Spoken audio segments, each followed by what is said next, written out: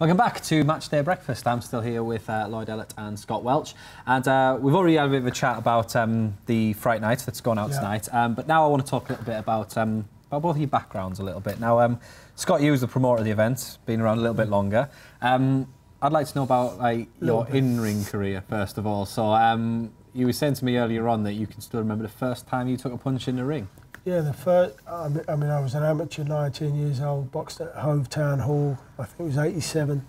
And um, I come out, I, I thought a bit more, he was a bit more experienced than me, but he come out, he caught me with a shot straight in the, straight in the mouth.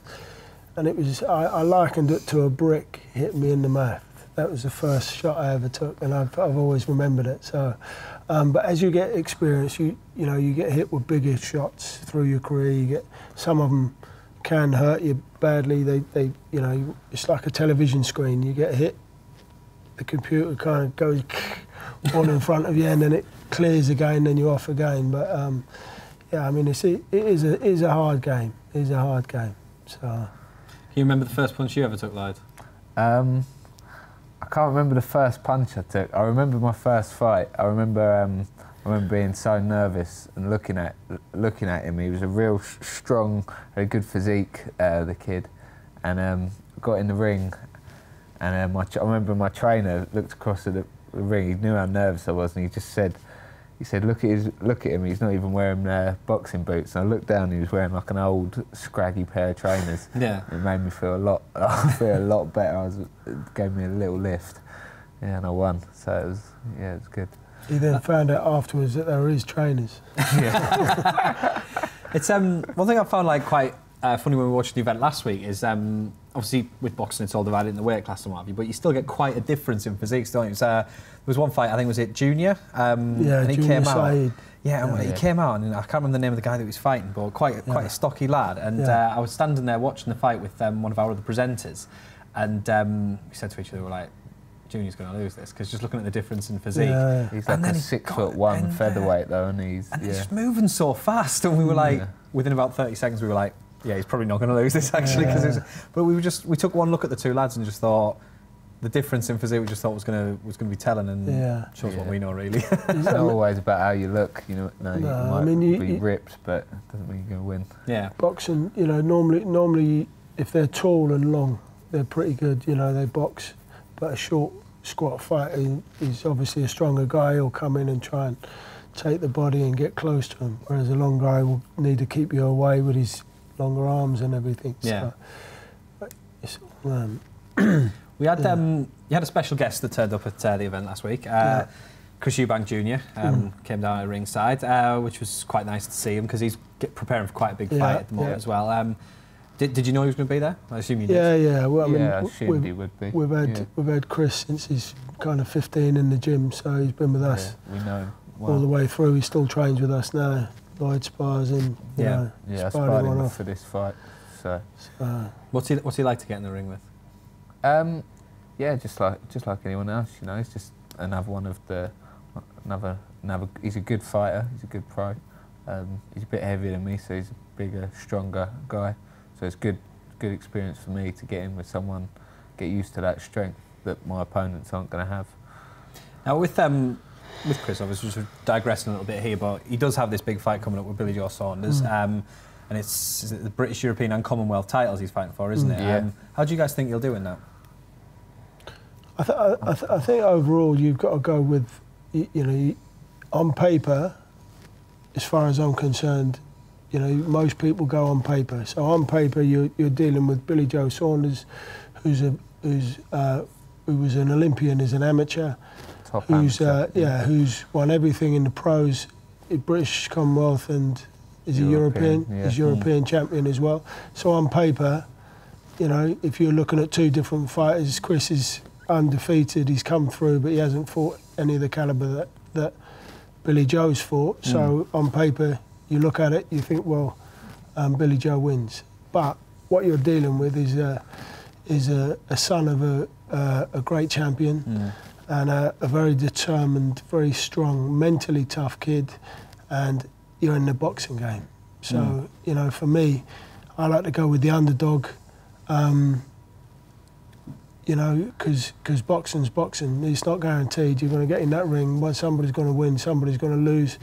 Um, as we say, you know, every, you know, you, uh, on paper, Billy Joe wins, but you can't. I I don't think you can call this. This a 50-50. Yes, 50 50. Um, and but the, the man who wants it the most on the night will win. but there's a lot of bad blood between them, and Hmm. I, I was going to say there's been a lot of banter, think- hasn't there, between Yeah. the two of yeah, them? I, Yeah. yeah, I think it's gone past banter. So I, you know, they they don't like It's, each other. it's, it's going to be very interesting. Whoever keeps their head. Yeah, it's going to be very interesting when they walk in that ring, because that's where you're going to see straight away It was like um, who's um, not not that long ago. I remember when there was the whole um, David Chisora and um, David Haye thing when they had the press Mm. conference, they had a fence between the two of them, Mm. and then I mean uh, the, this this last week it's sort of been something different again with Billy Joe Saunders and Chris Eubanks Jr. 'cause They were Yeah. supposed to have a face-to-face press conference, weren't they? And yeah. Chris Eubanks said, "No, my son's not coming because I think he, I think he said that." Uh, he thought that Billy Joe Saunders might, Boil his over. actions was Yeah. going to just Yeah, bring boxing into a bad light and what have you. I mean, Mm. it's real bad blood there, isn't it?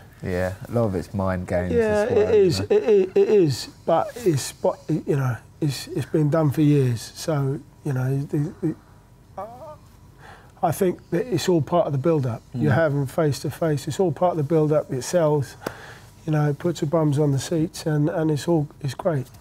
Obviously, if they don't turn up for the press conferences, then it can cause problems further down the line Mm. for for boxing and everything. So, I don't know. It's it's up to the individual, I suppose. Did you ever have to deal with anyone with uh, with that level of bad blood when you were still boxing? Absolutely. I mean, uh, me and James Oyebola, uh, we had. Um, they tripped me up at a press conference when I walked in. He'd, he'd been training in America with um, with uh, Evander Holyfield, and, and he come back and he had a lot of Americans with him. And as I walked into the walking towards where we were sitting for the press conference, they uh, one of them put their feet out, tripped me, I st- stumbled. Luckily, I didn't go over, but I stumbled forward.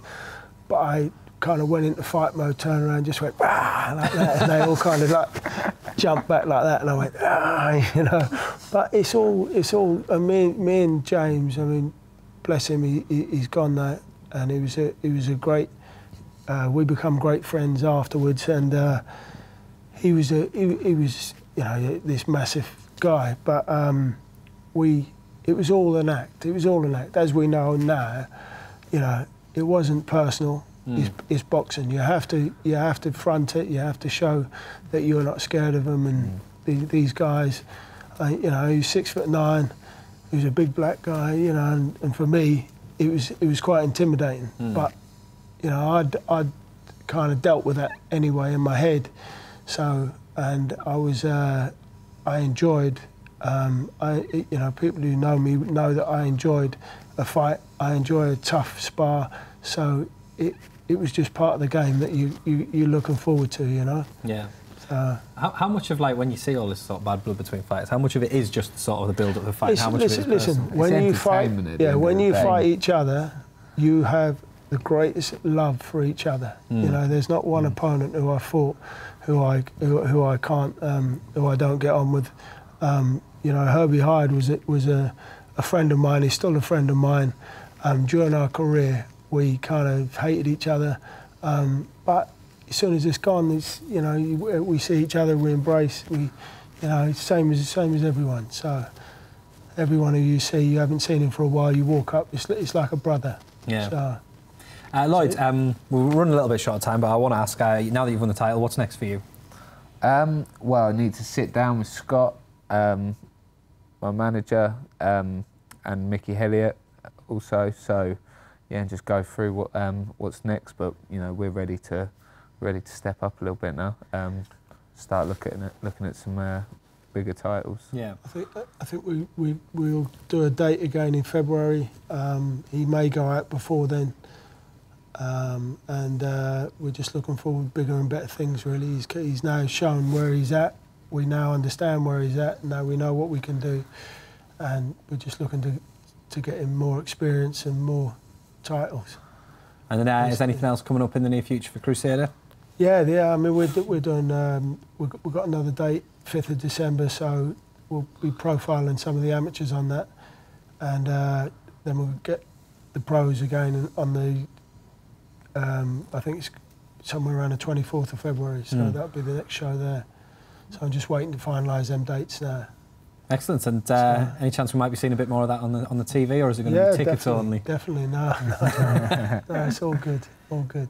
Excellent. So, Um, well, guys, thanks very much for coming along. It's been uh, it's been great chatting to you, and um, obviously congratulations again on the title win. Thank you. Um, you know, we'd love to have you come along again in, uh, in the future, and um, yeah, certainly if you uh, if you do have any more fights that you that you know you can sneak us along to, you know, then uh, Definitely. I'm sure than latest welcome. TV would love to be there.